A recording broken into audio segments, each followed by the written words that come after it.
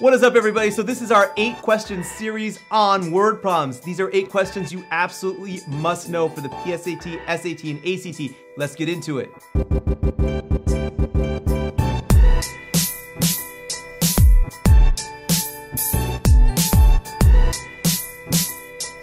For this one, what we have to do is not only write an algebraic expression, but we also have to identify what the variable stands for.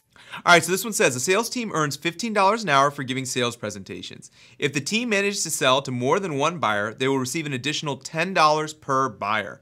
If the sales team sells to five buyers, what expression could be used to determine how much the sales team earned? Okay, so whenever you're dealing with a word problem and you need to translate it into math, what you got to do is just take it step by step. So let's work with what we have here. We know that the sales team earns $15 every hour. So that part we can write right away. $15 every hour. So it's $15 times the number of hours. So we can say 15 times H or just 15H. Now, what else do we know?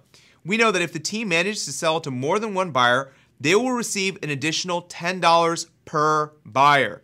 So if they sell to more than one, they get $10 per buyer. Now, what does it tell us? It says the sales team sells to five buyers. So what do we know? Because it's more than one, it's five. What do they get? $10 per buyer. That's a fixed number. It's just going to be 5 times 10, which is what?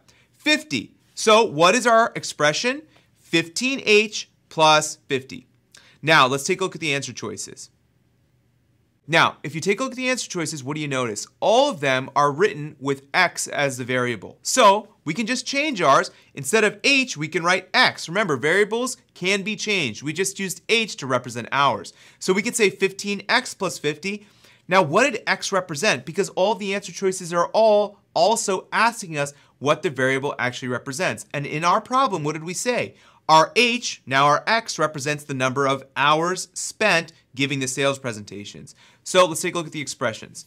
The only one that is 15x plus 50 is answer choice D, and it does say where x is the number of hours spent presenting, which is perfect. Alright guys, thank you so much for hanging out with me. Make sure to watch the rest of the videos in this series to get the help that you need for the PSAT, SAT, and ACT. And make sure to check out our other series. And if you haven't already, like and subscribe because this is obviously the best thing that's ever happened to SAT prep. there we go. And I like love it. I think yeah. that's the one.